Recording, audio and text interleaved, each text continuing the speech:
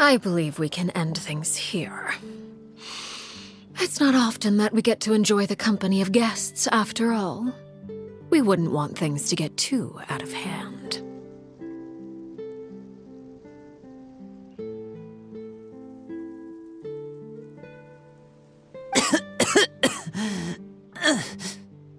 Brother, are you alright?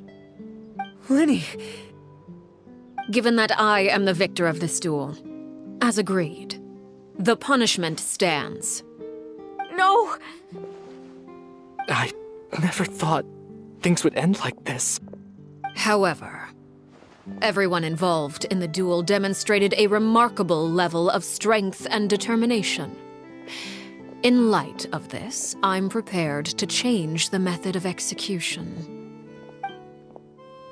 Elwar, the bottled flames I gave you for safekeeping.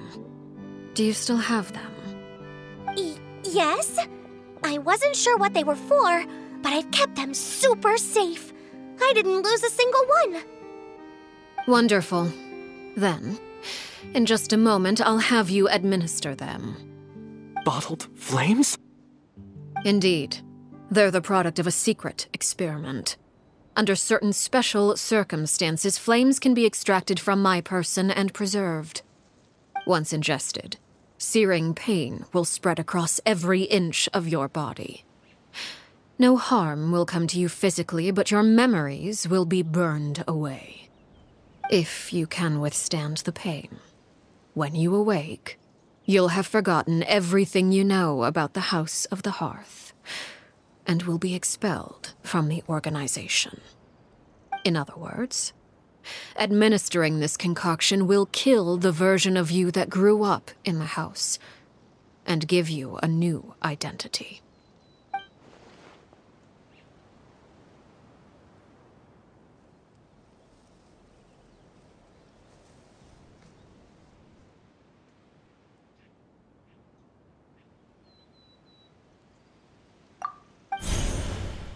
Memory is a mysterious thing indeed.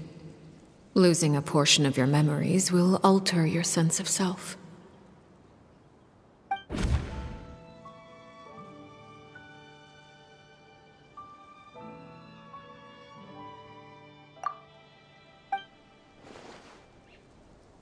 So, you're just letting us go, Father?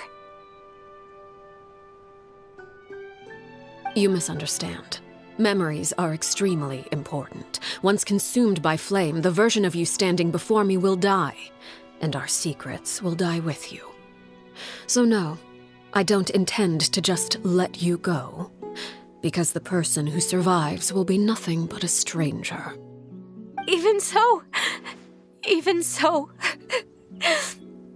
I won't have to live in fear anymore. I'm sorry, Father. I'm sorry I let you down. But I. I really. Don't cry, Filial. You haven't left the house yet, so there are still rules to be followed, yes? Remember what I taught you. Anger makes you impulsive, sorrow causes you to waver. Don't let yourself be controlled by your emotions. Of course. I'll remember. Dry your tears and go pursue the life you really want. Yes, Father. Chaplot, Foltz, Elwar. Take them back to Poisson. And bring Lyney and the others as well. I prepared three extra vials of bottled flames. As for whether to take them, the choice is yours. Goodbye, children. The next time we meet, I will no longer be your father. Thank you for all you've done for the house. I hope you have bright futures ahead of you.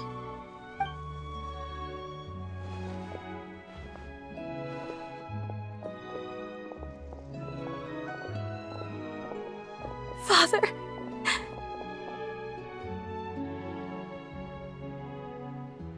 Let's go.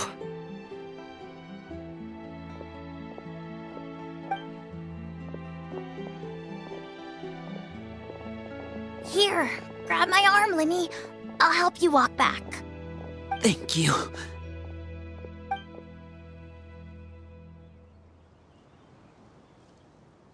Clervie,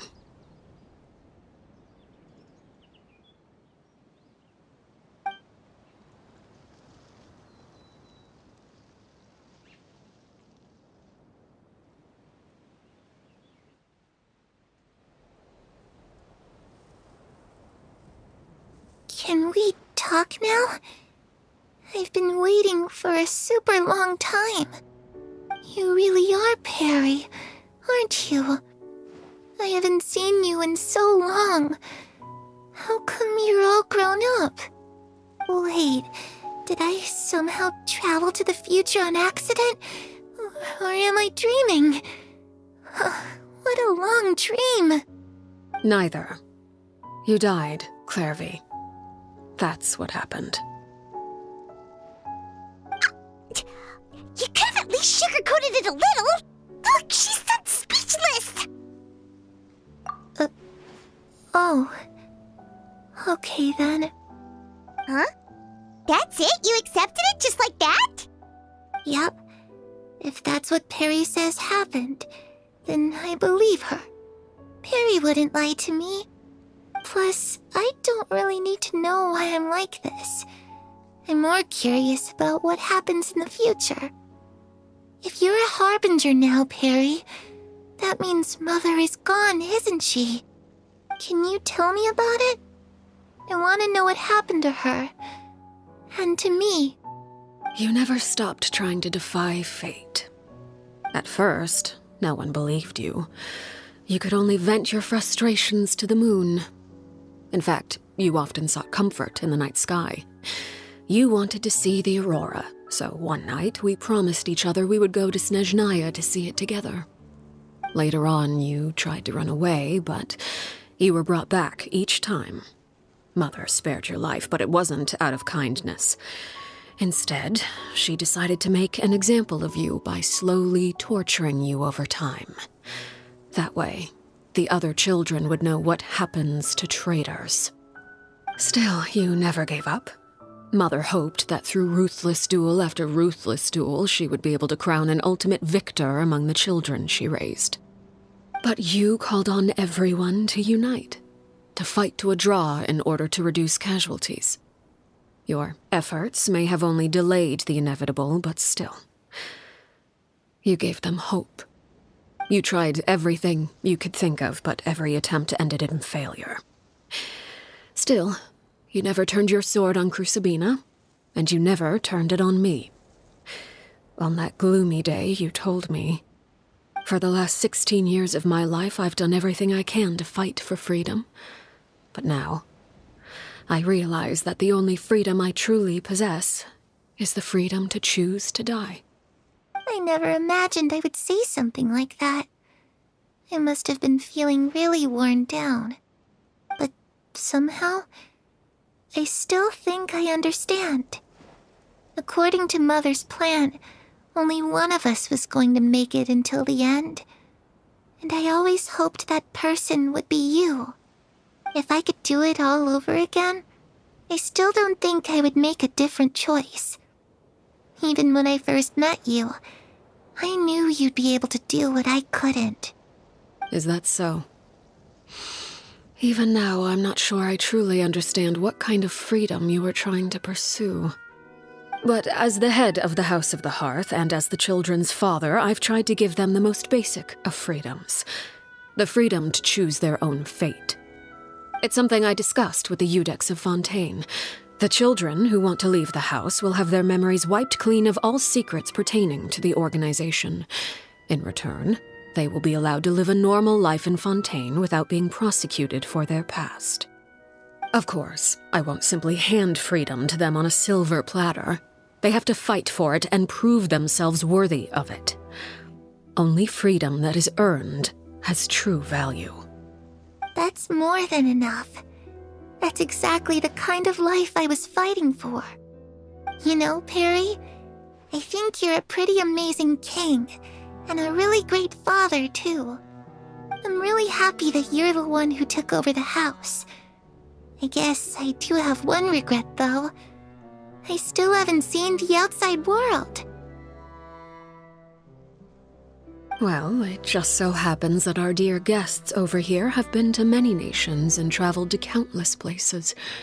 Perhaps they would be willing to tell you what the outside world is like. Really? Of course. We've traveled all over the place. We've got so many stories, we could probably talk your ears off for three days straight.